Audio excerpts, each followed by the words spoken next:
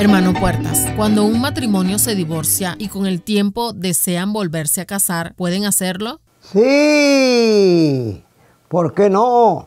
La Biblia dice en Primera de Corintios capítulo 13, versículo 4 al 8. El amor nunca deja de ser.